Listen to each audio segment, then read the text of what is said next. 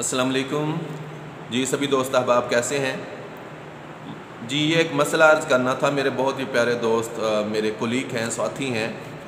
जनाब मोहम्मद प्रोफेसर हसन रज़ा निज़ामी साहब गोजरा से उनका ताल्लुक़ है। उन्होंने ये सवाल पूछा था कि सर ये बताएँ कि रमज़ान में अगर रोज़ा रखना हो या रमज़ान के अलावा कोई नफली रोज़ा हो या मन्नत का रोज़ा हो तो क्या उसमें शहरी खाना ज़रूरी है शर्त है अगर कोई बंदा सहरी नहीं खाता तो क्या उसका रोज़ा नहीं होगा?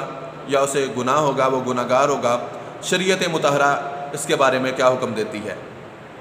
तो सबसे पहले मैं ये बात अर्ज़ करता चलूँ अपने भाई के लिए और तमाम बहनों के लिए कि देखिए, सहरी चाहे नफली रोज़े की हो, चाहे फ़र्ज़ रोज़े की हो, या चाहे मन्नत का रोज़ा हो जो वाजिब कहलाता है।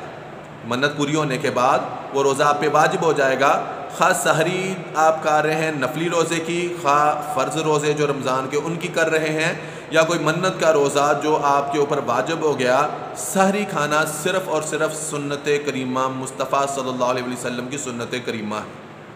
नंबर दो, अब अगर कोई शख्स जो है, वो जान बूझ के भी सहरी छोड़ देता है, सहरी तर्क कर देता है, उसने सहरी नहीं की तो उसके ऊपर तर्क सुन्नत तो लाजम आया।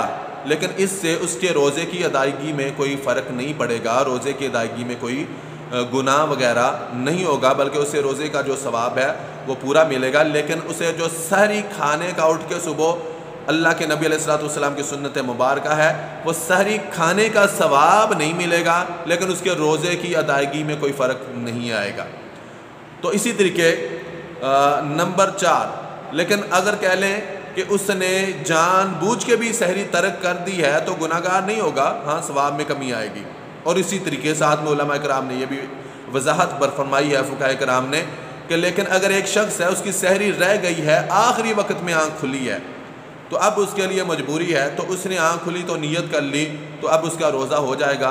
बेशक उसने सुबह के वक़्त अजान, नमाज़ के बाद उसकी आँख खुली तो उस वक़्त भी अगर उसने कुछ नहीं खाया, पिया तो उस वक़्त भी उसने नीयत कर ली है तो उसका रोज़ा हो जाएगा। खलास कलाम ये निकलता है कि बिना सहरी खाए आपका खा फ़र्ज़ी रोज़ा हो खा नफली रोज़ा हो खा रमज़ान का रोज़ा हो खा मन्नत के रोज़े हों, कोई भी रोज़ा हो तो बिना सहरी खाए आपका रोज़ा कबूल व मंजूर हो जाएगा। रोज़े की अदायगी में कोई फ़र्क नहीं आएगा। हाँ जो सहरी खाने का अलग से सवाब था, आप उस सवाब से महरूम रहेंगे। अल्लाह पाक मसले को समझने की और इस पर अमल करने की तोफ़ी कदा फ़रमाए। आमीन, सुम्मा आमीन।